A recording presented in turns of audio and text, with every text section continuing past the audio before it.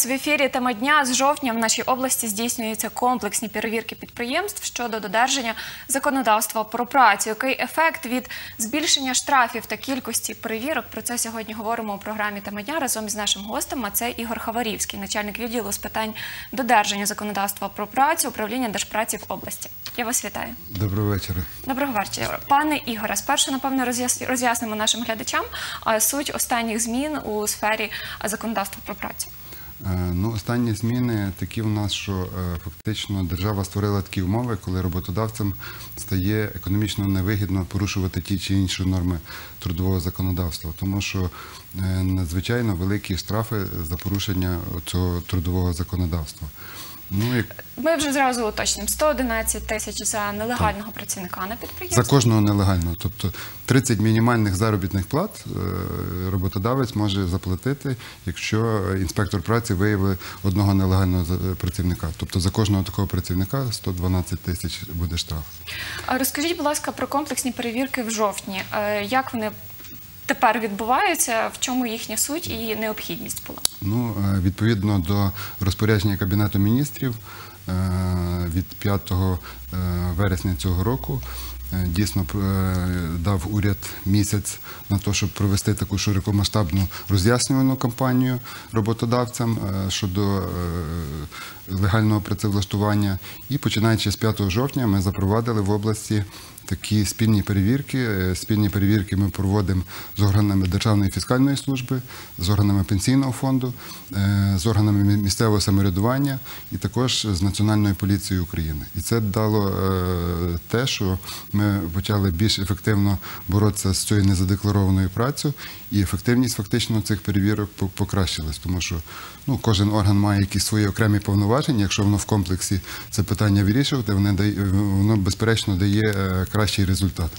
А В чому була потреба залучати таке коло фахівців? Ну, для прикладу, Нацполіція зрозуміла, для того, щоб легше було потрапити на підприємство. Ну, потрапити і вони забезпечують громадську безпеку, тому що розумієте, якщо перед е, роботодавцем е, постане такі можливість отримання такого штрафу, він буде і можливо себе агресивно поводити, і всякі провокації проводити проти інспекторів праці і так далі. Е, Органи Державної фіскальної служби, в свою чергу, вони володіють, і органи пенсійного фонду, вони володіють також такими базами даними, наприклад, про працівників того чи іншого роботодавця. Тобто це нам дає можливість, е, скажімо так, в оперативно е, здобувати інформацію, ну і плюс спільно ходити на перевірки. Е, І вони. Можуть, якщо ми виявимо оцих нелегальних працівників, вони можуть донарахувати ці недоотримані податки, там єдиний соціальний внесок, ПДФО і так далі. Е, Півроку назад приблизно ви в нас були. І якраз е, за березень-квітень ви говорили про те, що 35 нелегальних працівників вдалося зафіксувати на підприємствах. А якщо говорити по Україні за 17 рік 2427. Е, Що ми маємо станом на сьогодні за цей період, за який фіксувалися Так, такі ну порушення? трошки в нас ситуація, скажімо, бо ми планомірно цього року відповідно до рішень держпраці і уряду почали працювати з не- неформальною зайнятостю. Е, Фактично на сьогоднішній день ми маємо в 62 роботодавців. Ми виявили 134 працівники, які зайняті були б- без будь-якого оформлення трудових відносин. 611 працівників е, були зайняті на підставі цивільно-правових договорів, які за своєю суттю фактично були е, трудовими договорами. І е, 278 працівників були зайняті без повідомлення е, податкової, тобто Державної фіскальної служ- служби. Загалом ми таких е, виявили 1023 працівника, які були допущені до роботи без належного оформлення трудових відносин. 1023 Так, по всій області. Так, по всій області з початку року. Е, Чи вважаються всі ці три категорії як незадекларована робоча сила чи ні? Тобто штраф 111 тисяч по всіх цих більше тисячі Е, Ну, по випадках? перших двох, так, 111 тисяч. Тобто, якщо е, без будь-яких документів працює працівник, не оформлений трудовий договір, значить, і е, коли прийшов, е, скажімо так, е, інспектор праці на інспекційне відвідування і нема повідомлення в податкову, значить буде такий штраф 111 тисяч. І аналогічно по, е, скажімо так, коли цивільно-правовий договір фактично є трудовим.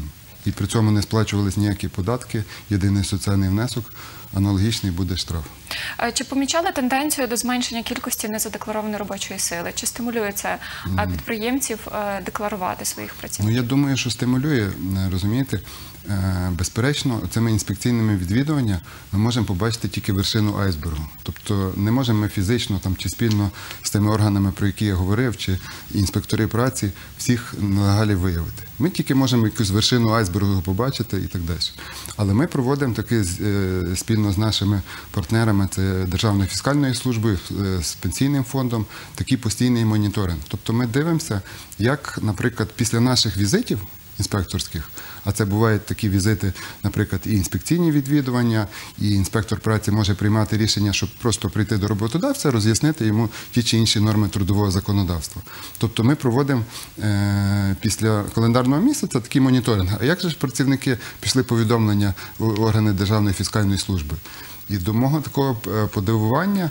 Ну, з початку року ем, ну, майже, е, е, майже с- сім з з чимось тисяч, розумієте, пішло таких, скажімо так, повідомлень в податкову. Тобто, безперечно, це стимулює. Стимулює, так? Так, так. Е, Ще питання недопуску цікавить підприємців. Е, Що означає недопуск е, інспектора до інспекції, оскільки штраф величезний? Скажіть, чи доводилось його Ну, застосовувати? Ну я пам'ятаю, минулий раз ми з вами говорили, я казав, що ще ніхто не ризикнув на Так. такий штраф. На сьогодні вже два роботодавці ризикнули. Тобто ми маємо в області два таких випадки, е, коли е, застосували ми такий штраф у ці страшні 100 міль- Яка це сфера? Можете сказати? Тобто це послуги? чи- Це е, сфера торгівлі і такого громадського харчування. От, от такі послуги. Е, Тобто е, штраф е, складає 100 мінімальних заробітних плат, це більше 370 тисяч гривень. Чи сплачені ті штрафи, чи зараз відбувається оскарження? Ну, в- більшості е, великі штрафи майже 100% роботодавці стараються оспорювати, тому що ну. Велика сума. так, велика сума і так далі. Ну хочу сказати, що і, і це в часі може бути тривалий процес, тому що йде е, суд першої інстанції, потім апеляційний суд, йде на касацію е, в Києві і так далі. Ну, воно може в часі бути два, півтора-два роки оці оскарження. Е, Про недопуск виникають запитання, що означає недопуск інспектора на підприємство. Для прикладу, якщо працівники побачили, що е, чи їх попередили, що буде інспекція, вони закривають двері і. Інспектор стукає, стукає, і ніхто йому не відкриває. Чи Ну, вважається дивіться, це е, недопуск? По-перше, ми, е, як правило, у нас такі повноваження, що ми, якщо предметом перевірки буде виявлення оцих незадекларованої праці, ми ніколи не попереджаємо про свій візит, інспектор чи інспектори. Раніше попереджали, правильно? А, ну раніше так. По ді- у нас з'явився новий порядок минулого року. Раніше це були позапланові планові перевірки. Планові перевірки ми звичайно попереджали за 10 днів. Ну і смішно було там, звичайно, зловити цих незадекларованих працівників. Зараз ніякого з- попередження зараз нема, пе- ніякого графіку так, нема? Так, графіку нема.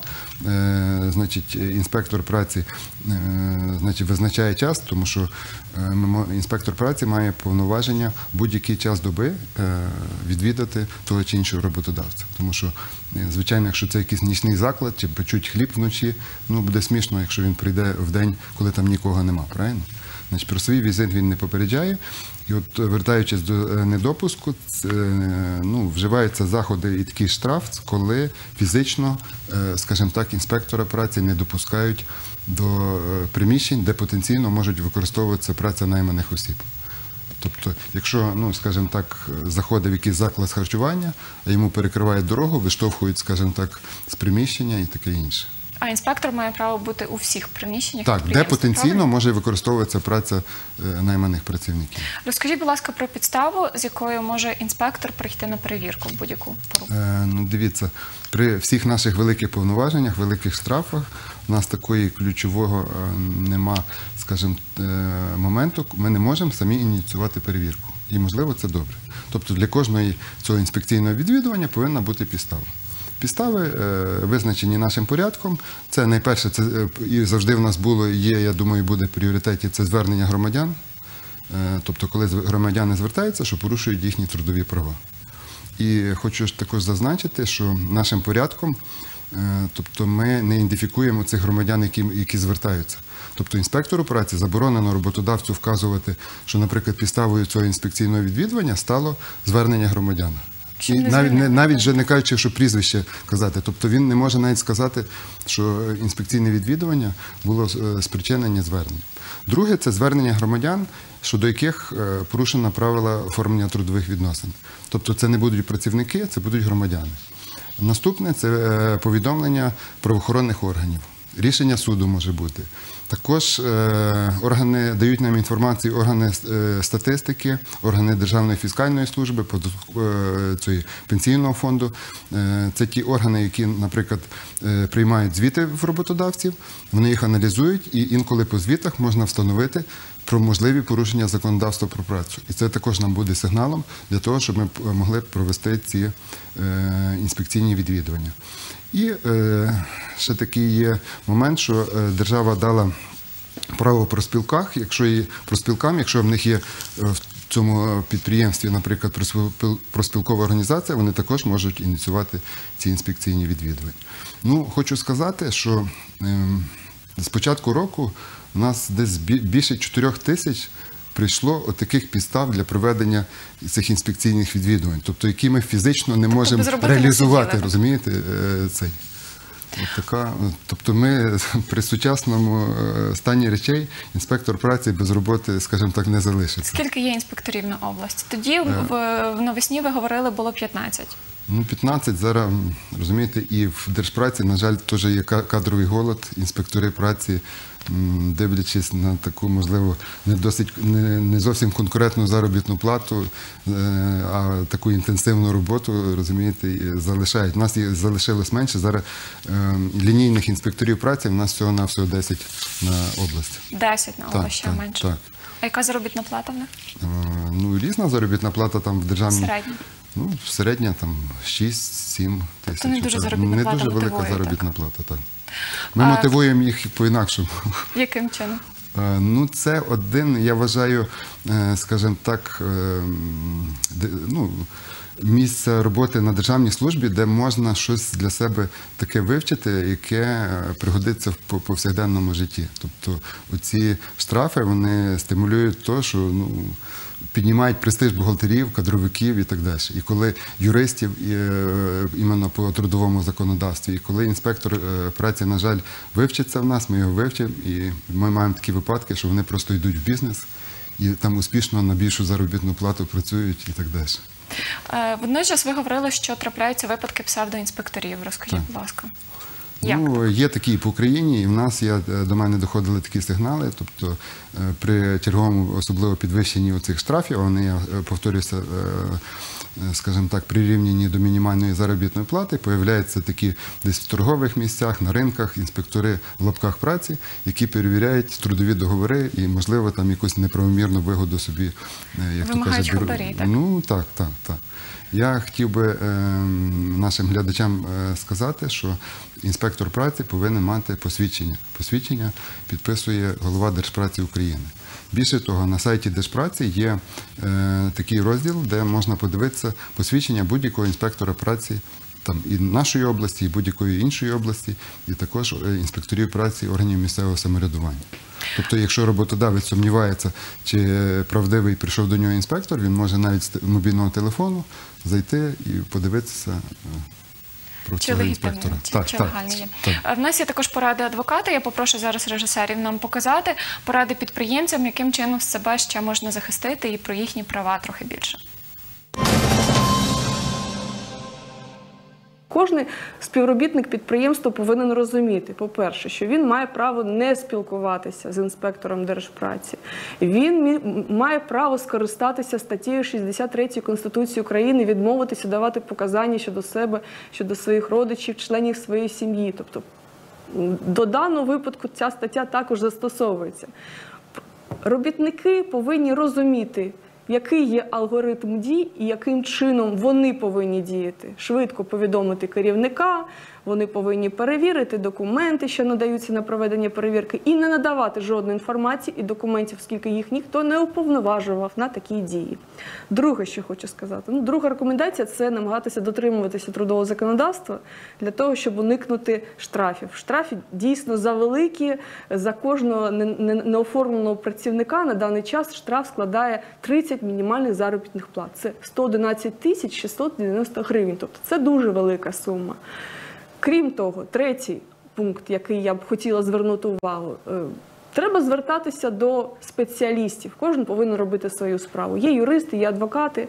Якщо е, у підприємства є можливість звернутися до адвоката, який зможе спочатку зробити аудит кадрової документації, перевірити, в чому можуть бути ризики підприємця. По-друге, він може проводити ці інструктажі навчання співробітників, роз'яснювати їх права і можливі дії. Крім того, якщо відбувається вже перевірка на підприємстві, його також можна викликати, якщо з адвокатом укладений договір про надання правової правничої допомоги. Його можна викликати, щоб він приймав участь у проведенні цієї перевірки. І останнє оскарження дій або оскарження рішень, які були прийняті за результатами перевірки, також потребує правової допомоги і допомоги спеціаліста. Окрім того, яка ще є можливість у підприємців самим себе захистити чи попередити якісь штрафні санкції? Ну, е, для цього е, нашим порядком передбачено такий е, аналіз стану дотримання законодавства про працю. Тобто за звернення роботодавця інспектор праці е, приходить до нього і проводить просто безкоштовний аудит стану дотримання законодавства про працю. І ми, е, скажімо так, е, це з задоволенням інспектори праці роблять. І я більше того скажу, е, якщо проаналізувати нашу діяльність за 11 місяців, наприклад, порівняти наші інспекційні кількість інспекційних відвідувань і превентивних заходів, тобто коли ми роз'яснюємо ці е, е, трудове законодавство, проводимо аудити, е, проводимо відвідування роботодавців з метою їх інформування. Тобто в нас цих превентивних заходів в чотири рази більше, ніж перевірок. Тобто ми акцент завжди робили, робимо і будемо робити на превентивних заходах, тобто на попередженні порушень трудового законодавства. Коли ви проводите аудит і знаходите порушення, в такому випадку накладаєте санкції? Ні, жодних санкцій не буде.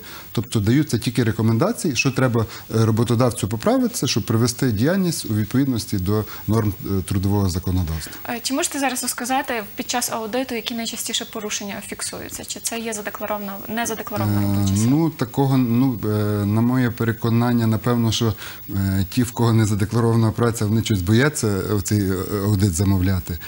Переважно це такі свідомі роботодавці, які, ну, наприклад, щось не розуміють е, в бухгалтерії, тобто як правильно нараховувати заробітну плату, як її виплачувати і так далі. В е, кадрові питання, ну, такі більше. Тобто незадекларованої праці ще нам під час аудитів таких не, не траплялося. Ви на початку програми говорили, що багато порушень стосуються цивільно-правових угод. Чому саме в цьому пункті виникають порушення? Е, ну, розумієте, роботодавці іноді хочуть оптимізовуватися. І, на жаль, знаєте, коли інспектор приходить, він е, чарівним чином достає таку собі цивільну правову угоду і думає, що він е, тим самим уникне е, цього великого штрафу. Але інспектори праці також аналізують ті угоди. Якщо вони там ми побачимо ці трудові функції, і, значить, може бути такий, на жаль, великий штраф, про який ми на початку передачі говорили. Цивільно-правова угода має укладатися як одноразова угода, так? Тобто вона не може стосуватися Ну, постійної роботи. Дивіться, ві- основна відмінність, е, наприклад, трудового договору від цивільно-правової угоди це те, що е, трудовий договір регламентує процес праці, а трудова угода регламентує кінцевий результат. От ті всі відмінності. І коли ми приходимо і бачимо, що, Чи наприклад, навпаки, чи цивільно-правова угода кінцевий результат? Цивільно-права угода е, це кінцевий результат. результат. Так.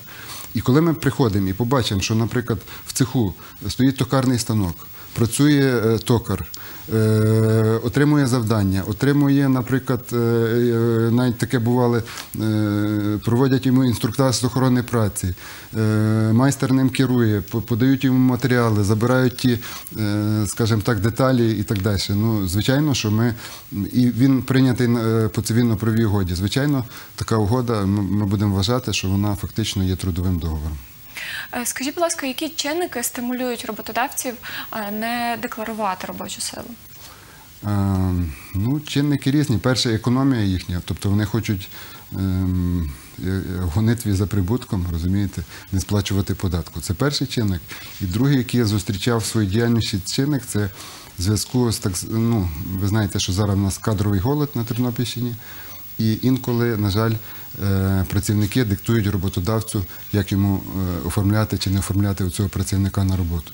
Розумієте, е, працівнику інколи, скажімо так, вигідніше, на його думку, отримати там більшу заробітну плату, але її не декларувати.